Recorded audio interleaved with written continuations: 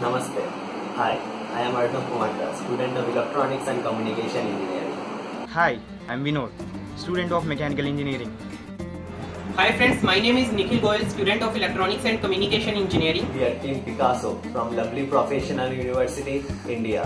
When we looked around, we found that there is a need of automation in customization and job industry like wood engraving and painting.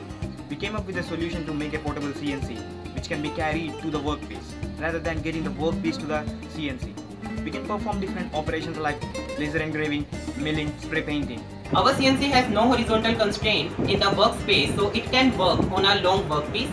Our machine works vertically so any vertical workpiece works great. Portability saves a lot of manpower and cost. We chose the best design based on design benefits and cost analysis.